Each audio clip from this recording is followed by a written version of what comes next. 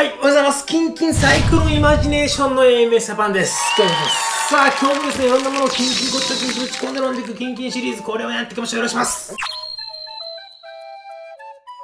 さあ、今日もね、冒頭龍さんです。これはですね、瓶ビールと缶ビールをですね、ガチガチに飲み比べした動画にくれてまして、札幌黒ラベルをね、飲んでる動画にくれてますね。キンキンサイクロンイマジネーション来た言ってますけども、サイクロンイマジネーションもこの言葉の意味よくわかんないですけどね、もうかっこいいですね。ほんと龍さんいつもありがとうございます。さあ、というわけでね、今日もやっていきましょう。キンキンミーツミツやここでやったら100年目。これをね、やっていきましょう。さあ、今日飲んでいくのこちらです。買ってきました。三ツ矢特のピンクグレープフルーツスカッシュですね。珍しいですね。濃くて美味しいって書いてて、果汁15%の炭酸入りです。フルーツクオリティ製法ではないみたいで、えー栄養成分見ると 100ml あたりエネルギー 50kcal 高めですね。ゆっくりひっくり返すとね、美味しいよって書いてますね。ひっくり返しておきましょう。さあ、美味しそうですね。ぶっ決めていきましょう。さあ、今日もキンキンに凍ったジョッキ登場。テンション上がりますね。ジョッキしか勝たん。さあ、行きましょう。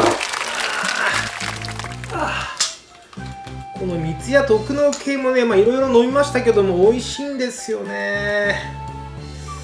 それ。ピンクグレープフルーツもテンション上がるな。うわうまそう。なんかもうフルーツそのままって感じだな。匂い。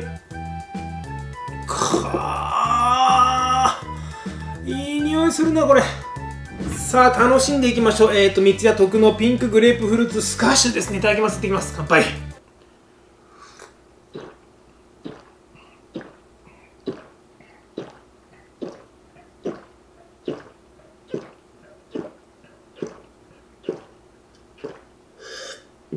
あ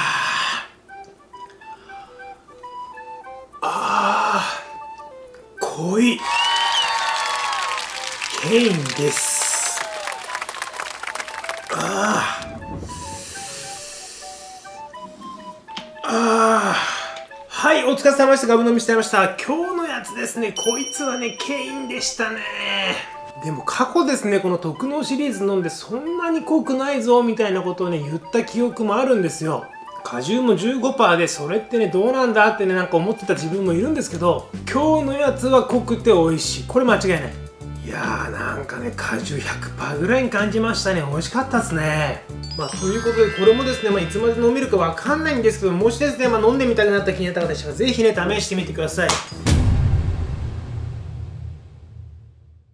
さあ最後ね次回告です明日もですね3つ焼きましょうこちらですね濃密リンゴってのがありますこれまたね、軽飲な予感しますね。果汁30%ですよ。すごいな。三ツ矢といえばですね、果汁1%のイメージがね、ほんと強いんですけども、30%出ましたね。これもこれで期待大ですね。とりあえずね、明日にこいつぶっ決めてくんでよかったら次回の動画もぜひご視聴してください。はい。では本日もご視聴ありがとうございました。またお会いしましょう。バイバイ。